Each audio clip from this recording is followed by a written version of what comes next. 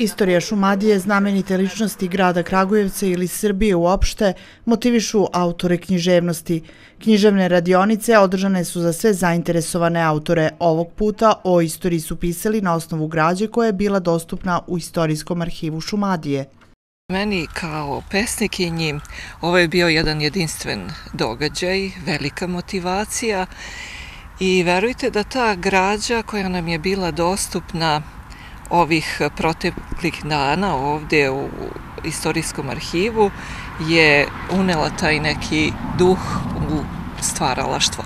Nešto novo. Ja sam e, dosta toga saznala o Katarini Bogdanović i zapravo ta nova saznanja su i e, da se rodi jedna pesma, baš ovde u hladovini, ispod ovog drveta. Meni je Jovan Mirković našto bio interesantan zato što je jedan od darodavaca, veliki darodavaca u ovom gradu.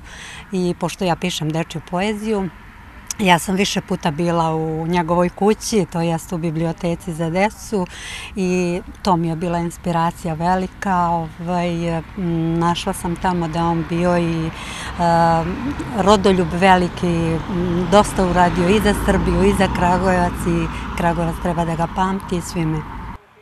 Iako je prebogata građa koju posjeduje ovdašnji istorijski arhiv, autorima je ponuđen samo mali deo za razgledanje i proučavanje.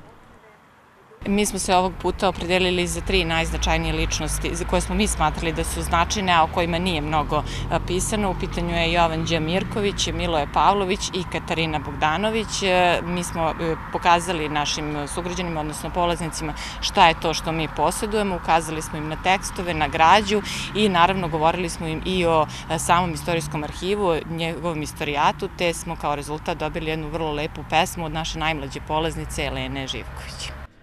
Manifestacija Arhivu reči deo je programa Kragujevačko kulturno leto i kroz pet večeri više od 20 književnih stvaralaca iz grada prošlo je radionice i tematske večeri. U završnici manifestacije pročitani su najbolji radovi, a autori su nagrađeni simbolično poklonima.